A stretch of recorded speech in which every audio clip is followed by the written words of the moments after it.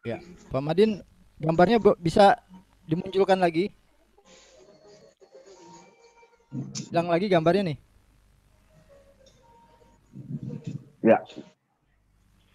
Iya. Ini HP saya mengalami sedikit gangguan kejiwaan apa? Oh di sini ada saudara saya juga tuh Mayang Sari. Iya, Pak Supian sudah muncul lebih dulu. Hmm, Pak Baik. Mayang Sari. Baik kawan-kawan sekalian, eh, berikut adalah biodata singkat Pak Madin. Pak Madin ini bernama asli E Sumadiningrat, dilahirkan di Jakarta pada Nggak usah Ah. padanya, udah tua. pada 15 Juli 1964.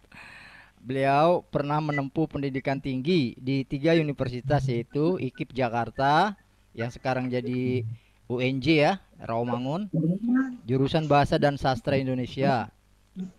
Kemudian di Universitas 17 Agustus 1945, jurusan Ilmu Politik dan Kemasyarakatan serta Sekolah Tinggi Filsafat Dria Karya. Ya. Oh, program ekstensi ya, Pak Madin ya. Beliau juga ternyata seorang eh, seniman teater ya, aktor ya, berteater sejak 1979. Walau pernah menyutradarai beberapa kali, tetapi perhatiannya lebih besar pada bidang keaktoran. Pernah terpilih sebagai aktor terbaik Festival Teater Jakarta atau FTJ pada 1986 dan 2000. Pak Madin ini Kang Madin, Kang Madin ini pernah menjadi guru bahasa dan sastra Indonesia di beberapa sekolah sejak 1988 hingga 2001. Kini Kang Madin bekerja sebagai scriptwriter, penulis naskah sinetron, menulis lebih dari 400-an judul sinetron, baik jenis FTV, serial miniseri, serial lepas dokumenter, iklan, dan lain-lain. FTV baju seragam anak pem- pemulung yang ditulisnya dan ditayangkan oleh Trans TV mendapat penghargaan sinetron terbaik eh, dalam Festival Film Bandung 2009. Sebagai penulis dan aktivis teater, tahun ini Kang Madin dipercaya oleh Pusat Kurikulum, Kurikulum dan Perbukuan Kemendikbud untuk menyusun buku panduan guru teater kelas 10 SMA. Sejak 2010 Kang Madin menjadi dosen luar dosen luar biasa di jurusan Bahasa dan Sastra Indonesia Fakultas Bahasa dan Seni UNJ. Untuk mata kuliah apresiasi drama dan kajian drama. Juga staf pengajar untuk mata kuliah yang sama di program studi Bahasa dan Sastra Indonesia Fakultas Keguruan dan Ilmu Pendidikan Universitas Muhammadiyah Tangerang UMT. Selain mengajar, Pak Madin ini juga aktif di Dewan Kesenian Jakarta sebagai Ketua Komite Teater DK, eh, eh, eh, periode 2009-2012 yang lalu ya dan Ketua Bidang Umum DKJ periode 2012-2015. Kang Madin pernah juga menjabat Wakil Ketua Dewan Perpustakaan DKI Jakarta periode 2014 sampai 2019. Dan saat ini Kang Madin masih menjabat sebagai Ketua Umum Dewan Kesenian Kota Tangerang. Demikian biodata singkat Kang Madin. Baik, eh, kawan kita ini eh, Kang Gilang akan membantu saya me- mengoperasikan file PPT makalah dari Kang Madin tadi. Bisa di zoom, bisa dibaca. Kawan-kawan bisa bisa baca? Kurang jelas ya.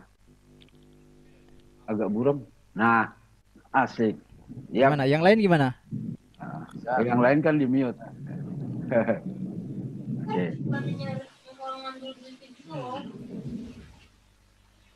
Oke.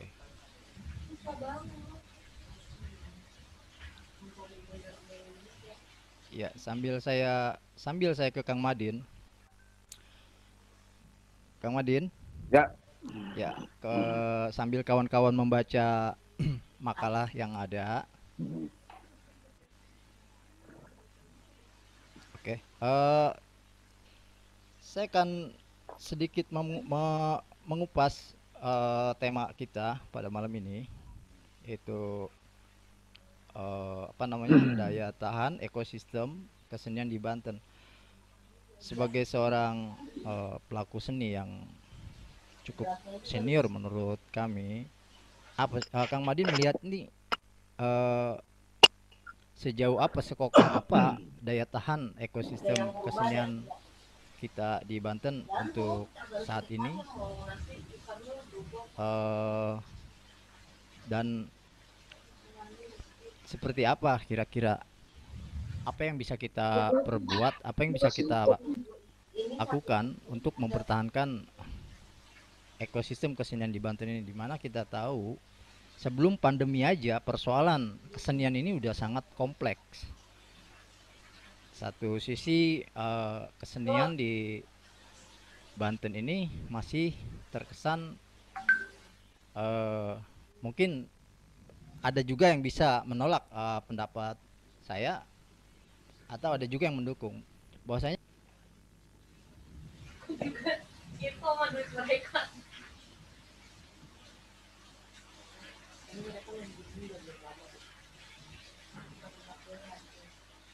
terus gue nyesel banget gue goblok. Eh cara mendapatkan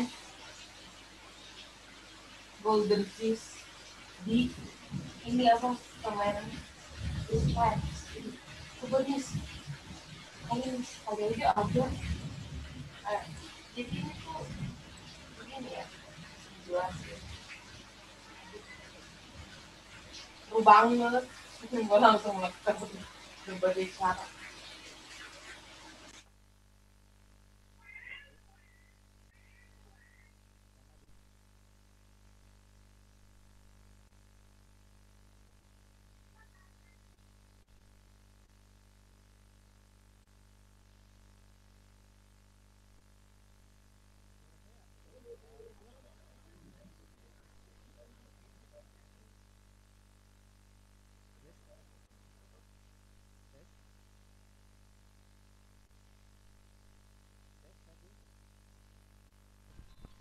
Tes satu. Tes satu. Gimana? Ada? Mungkin kepotong ya? Pembicaraan kita tadi kepotong ya? Suara saya hilang ya? Halo? Iya Kang, hilang Kang tadi Kang. Di, dimulai dari mana? uh, yang pertanyaan dari awal aja, yang apa? Uh, menurut apa Kang Ari bahwa kesenian di Banten ini boleh apa uh, dibantah juga, nah seperti itulah kurang lebih. Gimana gimana? Uh, Kang Ari mau memaparkan fenomena apa uh, per, uh, kesenian di Banten. Nah, nah itu belum belum terungkap. Oh iya iya iya. Ya ke Kang Madin, Kang Madin, ya. halo? Ya ya. Iya. Ya kita mulai dari Kang Madin. Saya ingin uh, Kang, saya ingin bertanya kepada Kang Madin uh, tentang tema kita yang kita bahas malam ini. Sejauh apa Kang Madin sejauh mana melihat daya tahan ekosistem kesenian di Banten ini ke se sekuat apa gitu? Se, sejauh mana kita bisa bertahan gitu? Pasca masa uh, apa uh, di dalam masa pandemi dan pasca pandemi nanti. Sementara yang kita tahu sebelum pandemi aja persoalan kesenian di kita ini sudah sangat kompleks gitu ya. Satu sisi uh, seni masih dianggap sebagai hiburan semata, tetapi pada prakteknya kesenian ini sendiri sebetulnya sangat erat kaitannya dengan sosial dan ekonomi. Ada ada ada indikator ke sana maksud saya. Lalu uh, bagaimana sebagai pelaku seni yang sudah kita anggap cukup senior, bagaimana Kang Madin melihat ini, melihat fenomena yang ada, dan bagaimana menyikapinya gitu. Kurang lebih seperti itu. Karena kita tahu ada beberapa uh, pendapat dalam masa pandemi seperti ini, kesenian kita ke depan akan seperti ini, seperti ini, seperti itu gitu kan kita lihat sendiri fenomena di lapangan bahwa uh, kawan komunitas-komunitas seni itu sudah mulai beralih ke streaming, ke virtual kayak gini-gini. Nah, bentuk-bentuk kesenian apa nanti yang akan terjadi? Kira-kira seperti apa Kang Madin melihatnya? Mangga. Ya, uh, terima kasih Kang Ari. Assalamualaikum warahmatullahi wabarakatuh. Saya ingin uh, menyapa dulu nih beberapa teman-teman yang ada di sini. Apa, uh, ada Kang Bu Wijaya, ada Mbak dari Kadin ya, Mbak Nis. Malam Pak. Malam ya.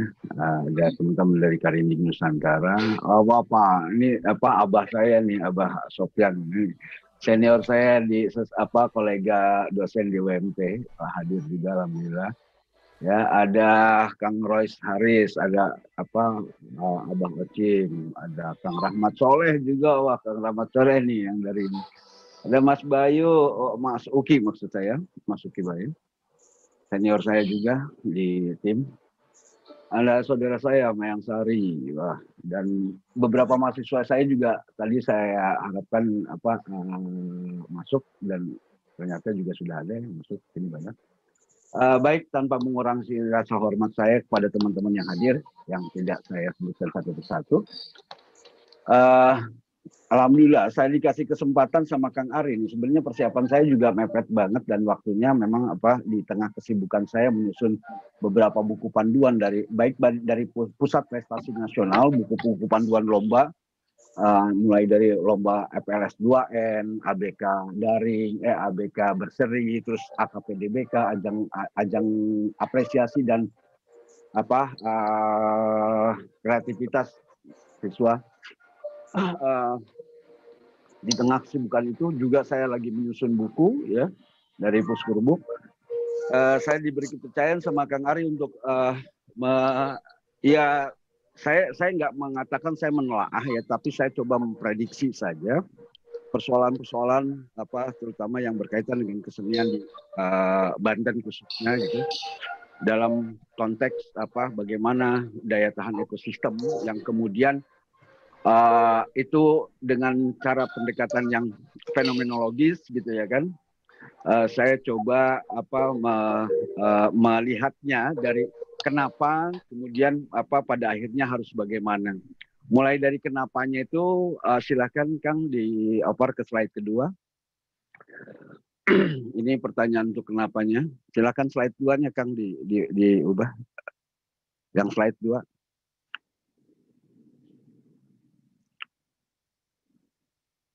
Gambar layarnya untuk slide 2.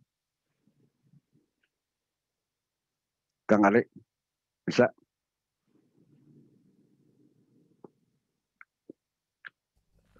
Ya, iya ini. Ini bukan? Iya, yang slide 2-nya, slide 2. Ini kan ya, uh, slide, slide, slide 1 nih yang tampil, slide 2. Oh, ini satu. Ah, uh, uh, slide 2. Slide 2 ya, ya, sebentar ya. Slide. yang ini. Ya ini yang halaman keduanya, halaman keduanya. Ya ini, ini udah benar ya? Ini udah benar. Oke. Okay. Ini tapi halaman apa? Uh, ini halaman satu, yang halaman duanya. Masih halaman satu mas, belum ya. belum ganti. Oke oke oke. Nah, nah, itu. nah itu. Ya ini. Nah, uh, kelihatan. Agak zoomnya di apa? List pindah lagi uh, uh, uh, uh. difokusin apa rada blur? Oke okay, ini ini sudah. Uh, belum masih masih blur. Masih belum. Masih blur. Kurang fokus. Kurang fokus ya sebentar sebentar. Ya operatornya lagi bekerja. Oke. Okay. mohon maaf nih teman-teman ya memang apa kendala daring itu seperti ini gitu ya apa. Baik uh, jadi sambil mau apa mencoba fokusing apa terhadap uh, slide saya. Ini fakta pandemi yang saya ambil dari dari teman-teman koalisi seni. uh, jangan di zoom, nggak usah di zoom apa. ya cukup. Uh, ini data yang saya ambil dari teman-teman di apa koalisi seni. Uh, uh, apa namanya? Lagi dikurangi zoomnya apa, apa, apa perkecil. Itu yang kedua perkecil aja Juni. Ya oke okay. uh, cukup cukup cukup. Uh, ini fakta fakta bahwa apa memang uh, benar-benar pandemi ini menghantam sisi kehidupan kesenian kita ya. Itu apa uh, sangat uh, sangat terasa sekali dan data yang dikumpulkan oleh teman-teman koalisi seni itu ada 30 proses produksi, ada rilis dan festival film, ada 113 konser, tour dan festival musik, ada 33 pameran dan seni rupa yang terbatalkan ya. ya ada dua acara sastra besar, terus kemudian ada 46 pentas teater. Ini baru yang terdata secara ini ya. Belum lagi misalnya saya tidak yakin kalau untuk hal-hal yang kecil itu segala macam terdata oleh kualitas seni. Artinya bahwa ini apa uh, uh, uh, apa sebenarnya datanya bisa jauh lebih banyak dari ini gitu dari yang teman-teman kualitas seni kumpulkan yang betapa dahsyatnya apa uh, pandemi ini uh, membatalkan seluruh apa kegiatan-kegiatan berkesenian kita ya termasuk misalnya yang dirasakan oleh teman-teman di di Banten ya. Saya sendiri misalnya di teman-teman di apa uh, komite apa komite musik misalnya Mas apa Bang Yanto juga melaporkan bagaimana teman-teman musik itu uh, tidak bisa uh, apa banyak acara-acara yang cancel terutama misalnya ketika dia harus mengisi di KPKP dan seterusnya. Nah ini yang membuat fenomena apa uh, uh, apa uh, fakta pandemi terhadap kesenian yang dampaknya luar biasa. Terus kemudian pada slide berikutnya gitu, ketika kita melihat fakta-fakta seperti ini, uh, lalu solusinya seperti apa sih gitu loh, apa uh, bahwa itu sudah kita laksanakan. Slide tiganya silakan.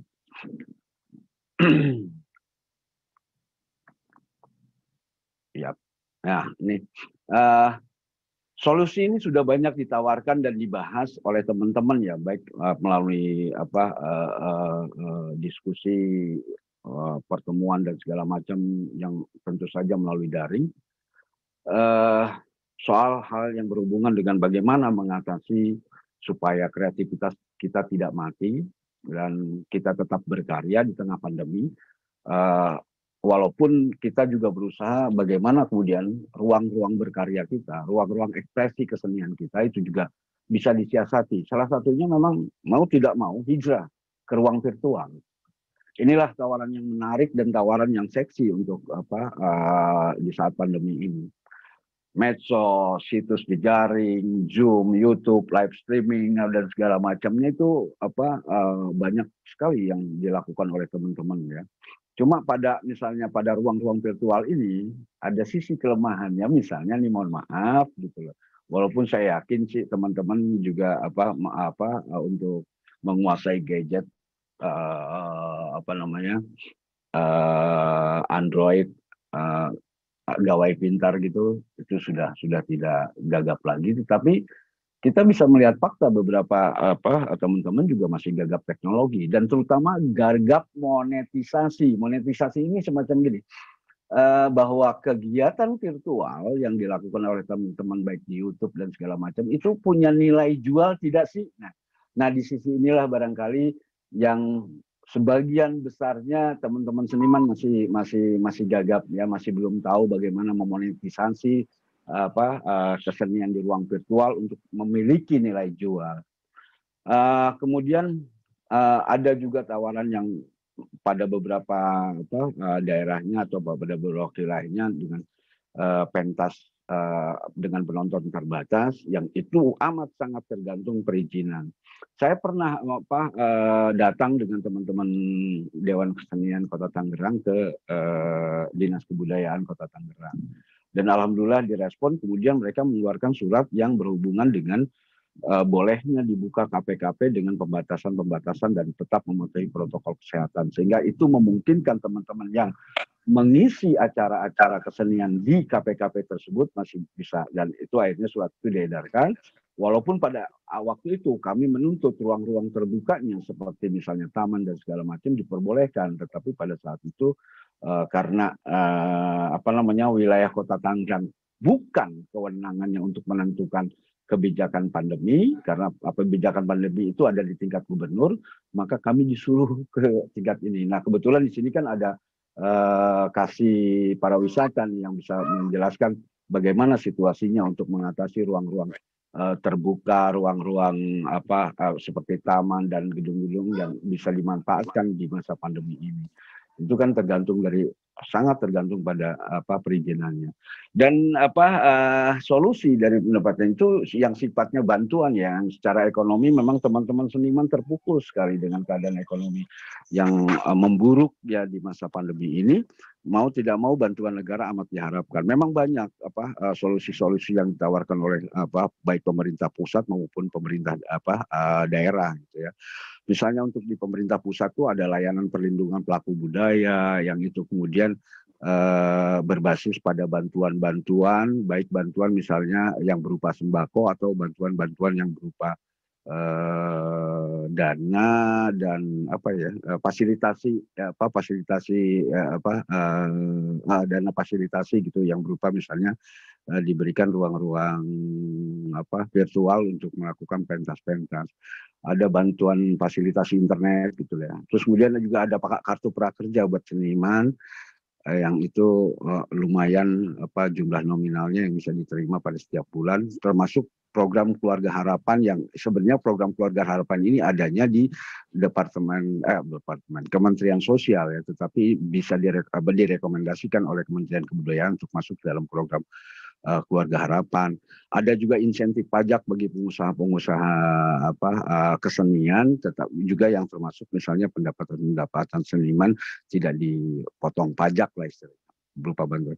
Nah, ini yang menarik misalnya di pemerintah daerah DKI Jakarta itu ada instruksi gubernur nomor 45 tahun 2020 tentang satu kebijakan untuk kemajuan berkesenian. Ini menarik nih Kang nih.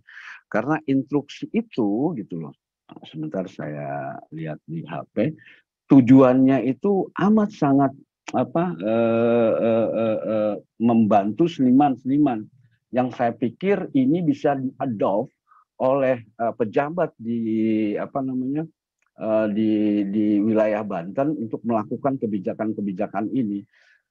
Tujuan dari instruksi gubernur untuk apa uh, nomor 45 uh, tentang satu kebijakan untuk kemajuan berkesenian itu apa menciptakan dan mengembangkan ekosistem apa berkesenian di wilayah Jakarta dengan melibatkan kolaborasi dari berbagai instansi untuk memberikan dukungan bagi para pelaku seni dalam kegiatan berkesenian. Dan itu melibatkan seluruh SKPD terkait.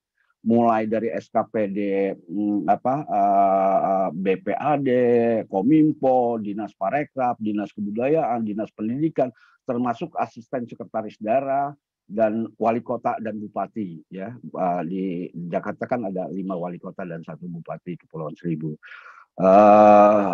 Nah ini ini cukup seksi buat saya untuk teman-teman di Jakarta gitu loh yang bisa apa mengakses fasilitasi uh, bantuan pemerintah DKI untuk bisa mengekspresikan keseniannya.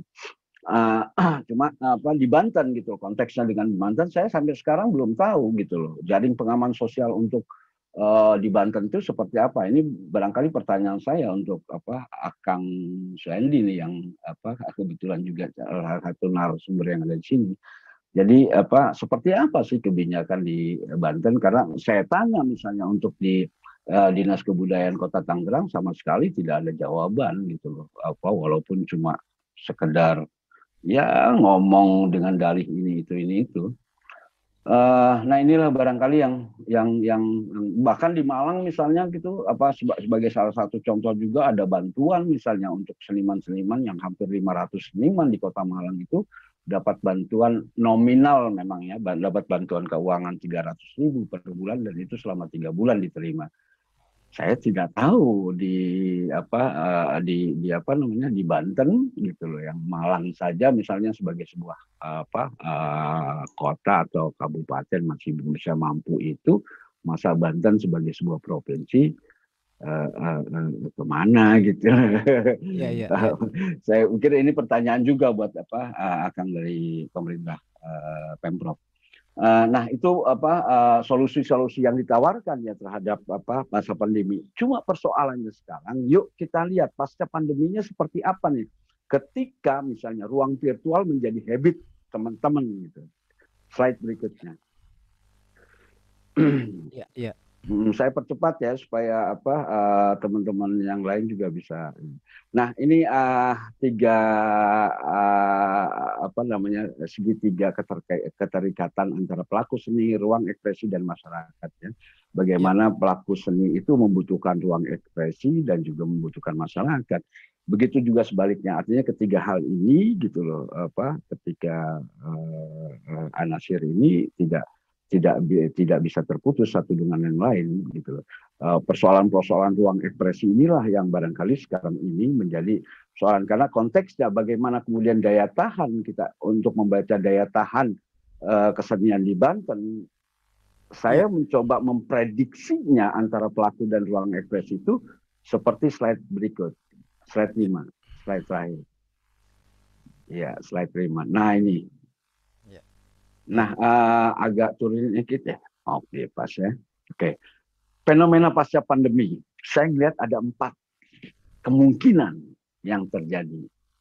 Dan ini sebenarnya secara umum, tetapi uh, saya ingin kerucutkan di uh, wilayah Banten khususnya. Lihat bagaimana di sana ada interaksi seniman di ruang virtual, ya. interaksi seniman di ruang virtual, Terus kemudian ada uh, relasi antar seniman yang makin menjamur. Terus kemudian juga seni pada akhirnya akan menjadi keseharian dan uh, uh, apa namanya prediksi saya untuk yang keempat apa apa, apa um, bagian keempatnya adalah seni hidup di lingkungan terkecil. Untuk yang interaksi apa uh, di ruang virtual, Nah, uh, teman-teman, uh, interaksi di apa uh, relasi apa uh, ya, maaf apa interaksi seniman di ruang virtual ini ini merupakan habit dari apa yang sudah terjadi sekarang ini gitu. Jadi mau tidak mau apa uh, kehidupan kehidupan kesenian pada akhirnya juga akan akan berhubungan dengan ruang-ruang virtual itu bukan cuma habit barangkali nanti akan akan membudaya ya. Cuma kan tadi seperti saya apa saya, saya bilang tadi kelemahan kita adalah bagaimana kegaptekan kita itu gitu loh itu bisa terasasi karena uh, ini penting gitu loh pada akhirnya seniman untuk menguasai teknologi gitu. di samping itu juga misalnya uh, kelemahan lain yang tadi saya juga soroti soal monetisasi monetisasi gitu bagaimana apa kemudian Eh, ruang-ruang virtual uh, sebagai ekspresi kesenian itu punya nilai jual gitu, punya nilai jual. Nah itu juga apa sebuah manajemen yang perlu dipelajari oleh teman-teman apa seniman. Nah uh, uh, uh, apa namanya kelemahan lain dari dari interaksi seniman di ruang virtual ini adalah seniman cenderung sibuk dengan hal-hal yang teknis gitu loh nantinya. Jadi eh, apa namanya? Hmm, ya teknis tadi seperti tadi gitu loh, bagaimana ya, menguasai jadi, teknologi dan segala macamnya gitu loh. Sehingga ya. soal konten gitu loh apa uh, uh, kurang apa sedikit terabaikan gitu. Kemudian juga bagaimana membina masyarakat penontonnya juga kurang tergarap.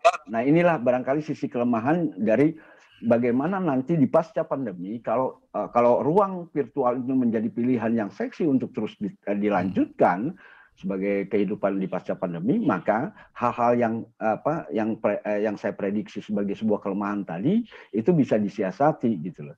Yang kedua adalah relasi antar seniman yang makin jamur gitu loh. Karena pada posisi ini bagaimana seniman tuh kemudian me membangun jaringan internet ya secara mandiri ya itu kan kemudian apa uh, walaupun dengan biaya akses internet ya lumayan relatif apa uh, gede lah ya uh, ya. makan biaya. Tetapi juga itu kemudian apa akan memperluas jaringan teman-teman. Ya. Bagaimana juga kemudian teman-teman seniman memobilisasi semua sumber daya untuk menemukan cara interaksi yang lebih bermakna dan ramah lingkungan. Nah, seperti hal-hal yang kayak gini merupakan sesuatu yang yang yang menurut saya indikasi baik untuk uh, membangun relasi antar seniman yang terus menerus apa uh, bisa di, dilakukan oleh teman-teman seniman.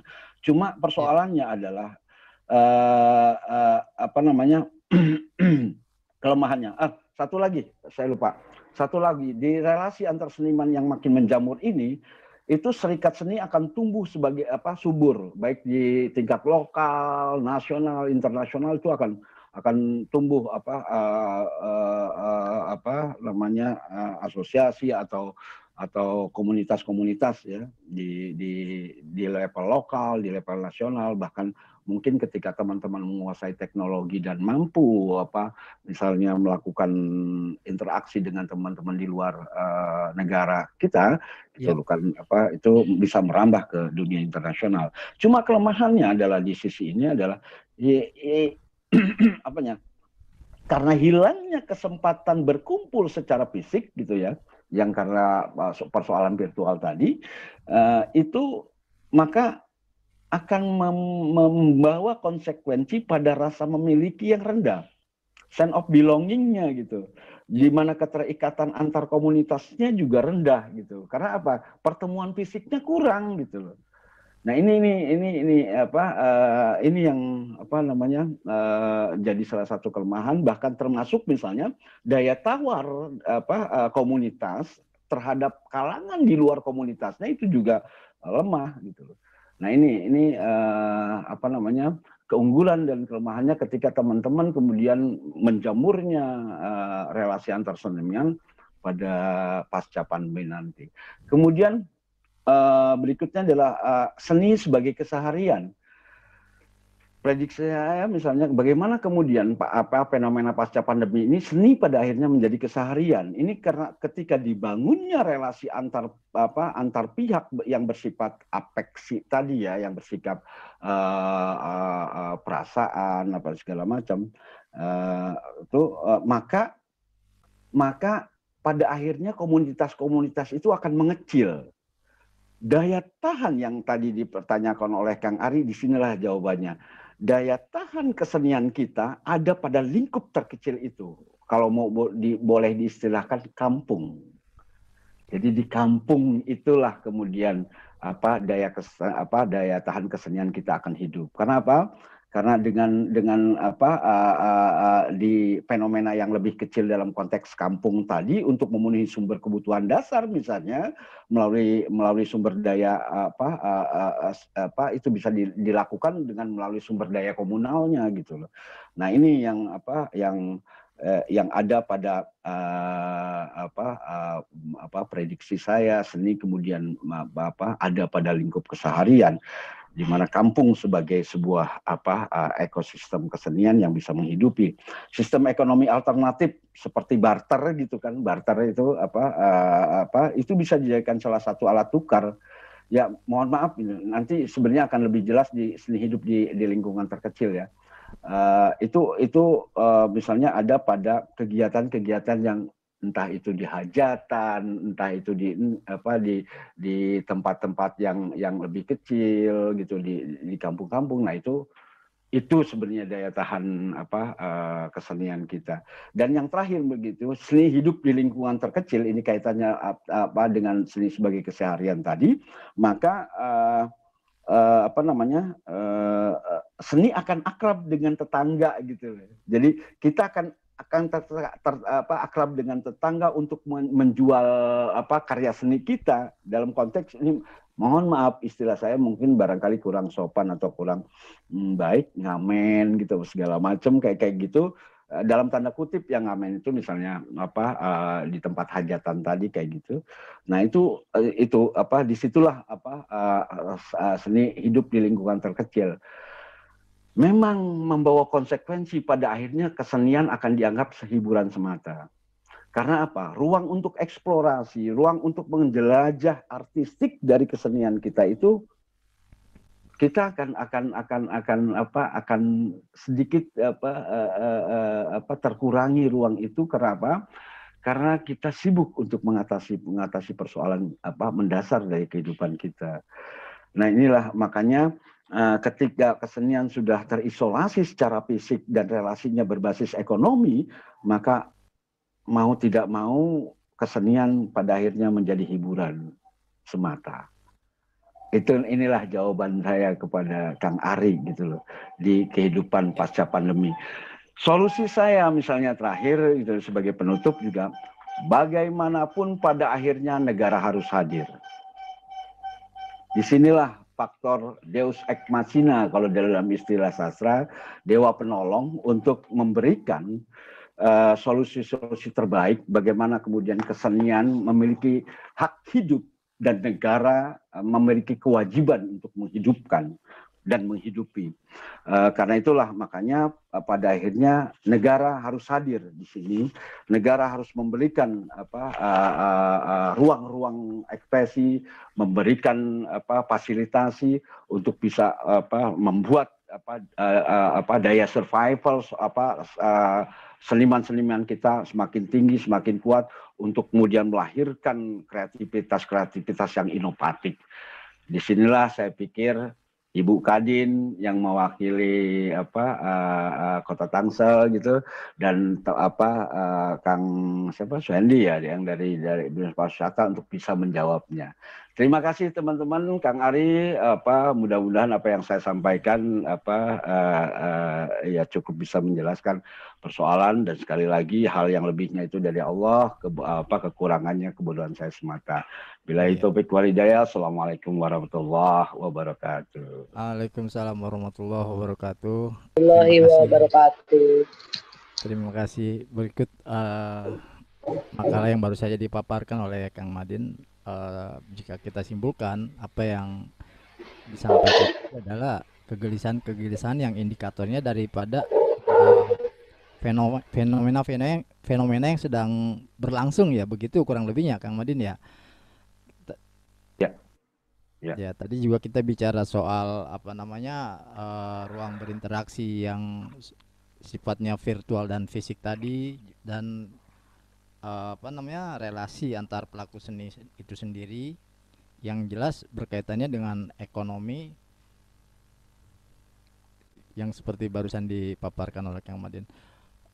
Satu sisi uh, kita juga tahu bahwa teknologi hanya bersifat pendukung, pendukung aja gitu kan, tidak bisa mengubah kondisi sosial dari uh, apa yang yang yang berdampak langsung dalam dalam dunia kesenian itu sendiri.